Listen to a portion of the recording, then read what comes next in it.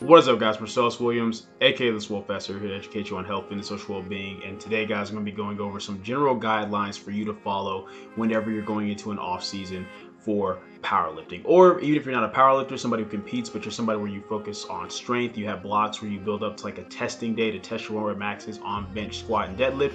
And really these can almost apply to any you know movements that you're uh, that your main focus that's what this video is going to be covering today i was asked to cover this in a, in a comment in one of my earlier videos and you guys already know this channel is for you guys what you guys want me to cover that's what i'm going to cover um, so also be on the lookout i will be doing a video here pretty soon over what my thoughts on for like full body every day the pros versus cons of that. Do i think it's optimal? Do i think it's efficient? Because i've had a lot of you both on instagram and youtube asking me to cover that um, really like the past two to three weeks. And I actually just finally figured out why you guys have been asking about that, but I will save that for when I actually cover that video. So with that being said, let's kind of just get into these general guidelines. And there will be in the description box down below, um, just some videos that go into more depth over some of these topics I'm gonna be covering in this video, such as like, you know, variation work accessories, just cause like I said, this is gonna be going over general guidelines. So if you guys wanna like get a little bit more in depth with the specifics of something I'm talking about, just check the description box down below and you can watch those videos to get a little bit more insight as far as that. But with that being said, let's get right into it. So the first point I wanna cover guys is when should you actually have an off season? Because a lot of people just think of like, you know, an off season being like the time between one meet and another, but that's not always necessarily the case. Depending on how much time you have between one meet to another, you may not actually have time for an off season. Using myself as an example, my last meet was June 22nd, and my next meet is going to actually be um, Raw Nationals um, in October. So I didn't really have time for an off season. I pretty much had 16 weeks between that meet and then this one. So the first block was kind of just a block to kind of get myself detrained, kind of desensitized. And then from there, we're now at this point, we're nine weeks out. But we after that first block, we were 12 weeks out and we're already in meet prep mode. Everything we're doing is setting myself up um, for meet prep. So we're already like, you know, very specific with everything we're doing um, the workload that we're doing and how we're specifying and intensifying it from block to block is all to get me set up to compete for Raw Nationals. So understanding that if you want to have like an actual decent off season, you probably want closer to like five to six months between the meet. That's just the reality of it. Otherwise, it's not so much an off season. It's just kind of like a little bit of downtime before we have to swing right back around into meet prep. So I did want to kind of clarify that to make that clear because I think a lot of people think like, oh, what do I do when I only have like a one month of an off season? Well, four weeks in powerlifting is not really an off season. That's not enough time to really do anything as far as like some actual off season building. Now, the next point that I want to get into, guys, is that assuming you actually have enough time for an off season, right? The first general rule is you want to get to volume, right? And I express this because a lot of people they kind of get this high after like doing a meet. You know, you just hit some heavy singles, and or maybe you didn't hit quite as heavy as what you want, and they want to kind of get back in the gym and keep pushing heavy, keep trying to like you know push their limits because they're still kind of like caught up in the meet mentality. But the reality is, is there's a time to test and there's a time to build. And your off season is your time to build. That's when you want to get to the point where you're, you know, introducing more volume on the big three and really just more total workload overall with your your programming. Now, mind you, this doesn't mean that all of your days need to be looking like, oh, you're doing sets of eight to 10 on all three lifts every single session. That's not the case at all. You still want to have structure. For example, me, um, my days, as far as the general setups, don't change. I still have my primary days, which tend to be my heavier, more intensity focused days. I have my secondary days, which are focused more on, you know, volume and hypertrophy. And then I have my tertiary days, which are kind of like those additional volume, um, technique, kind of individualized, specialized days based upon like the lifter's needs, goals, etc. The difference is, whereas, you know, when I'm closer to a meet, my primary day is probably something like, you know, heavy singles and then maybe I have like some heavy back down triples, something like that, is instead maybe I'll build it to like, you know, a top set of three or a top set of four, and then I'll have like back down sets of five. And instead of maybe just having, you know, three back down sets of five, because obviously as you get closer to meet, you kind of taper the volume back a little bit so that your fitness can be higher than your fatigue. I'm actually gonna be building my volume sets over time. So maybe I'll start off with like three back down sets, but then it turns to four back down sets and then five back down sets. Just kind of trying to like, you know, push my overall workload capacity, really build upon that now that new elevated baseline that I had from hitting those new numbers because now's the time to be like hitting a different type of PR instead of so much, you know, PRing on singles. It's like, okay, well, now I'm hitting weight um, for triples I've never hit before, for sets of four and five that I never hit before. That's kind of what we're focusing on is terms terms of volume. You know, on your secondary days, that's gonna be the days where you have days that are more focused on like, you know, sets of like, you know, six to eight reps, or maybe on your tertiary day, you're doing like, you know, something like sets of 10. But at no point do I think there's really a, a benefit or a need um, unless you're doing let's say like an AMRAP set for a power to be doing like you know I'm doing like sets of like 12 to 20 you still want to be specific with what you're doing and that's actually going to lead into um, general point number two which is going to be um, make sure you're very specific with your variation work. Have a why for any variation that you go to. And the reason I really want to express this is because a lot of people when they think about off season, they instantly think like, oh, variation, variation. There's even some people out there who promote, hey, you don't even need to be messing with the barbell in your off season, like for the first block or two, like stay away from bench, squat, and deadlift or any variances of it.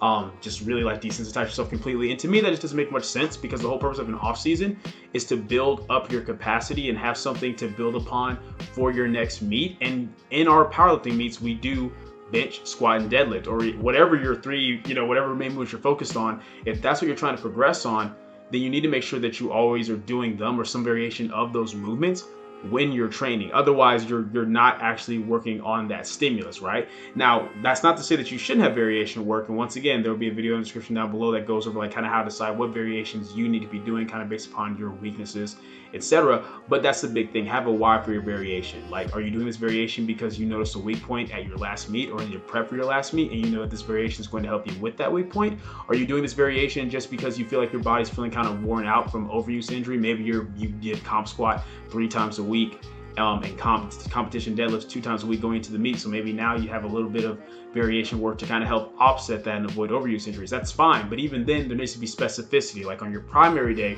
make sure that those variations that you're doing are going to actually like have pretty significant carryover to the comp specific lift. For example, a pause squat, that's something that carries over very well to a normal squat. Um, beltless deadlifts obviously carries over very well to your normal deadlifts. Maybe a normal competition bench, but with a slightly closer grip. Things like that can help offset overuse injuries and kind of help you objectively like decrease load while still kind of keeping exertion where you want and keeping pretty good specificity of the movement because it's so similar.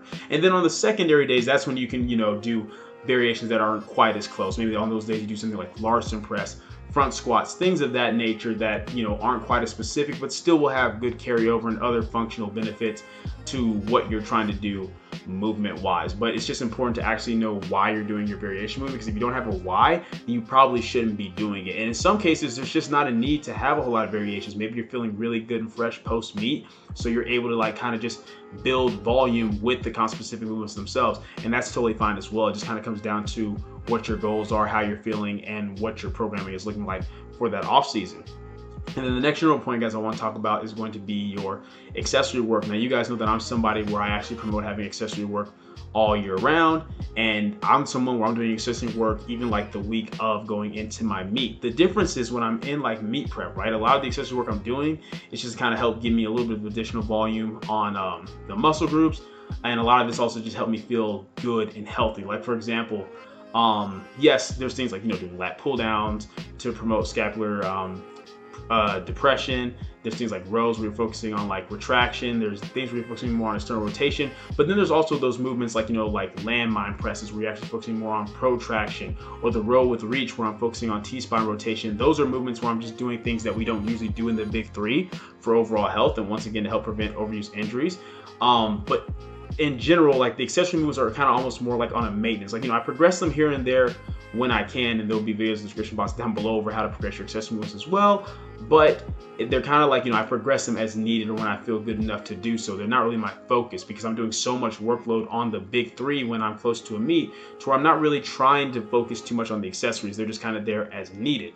But when you're in your off season, that's when you really want to push those accessories more. That's when you want to start doing things like, you know, your heavier rows, like Pendlay rows, um, weighted pull-ups, um, overhead press, things like that. Just um, your bigger your, your, accessory movements that that are still compound movements that could really be specialized movements in of themselves. That's when we really want to start pushing those and promoting growth on those. Why? Because it's not the off season is the time to be building. That's the time we're trying to put on as much mass as possible because we know relative to the individual, the more muscle you have, the more potential force production, aka the stronger you can possibly be. So that's why it's important to have those um, those blocks, those periods where you are focused on your accessory work and where you are trying to progress the numbers on those just as much as what you are with the big three. Once again, the big three will always be your main focus if you're a power lifter, but how much more work you can put and how much more of an emphasis you can put on your accessory work is going to vary from block to block, especially when you're in an off season.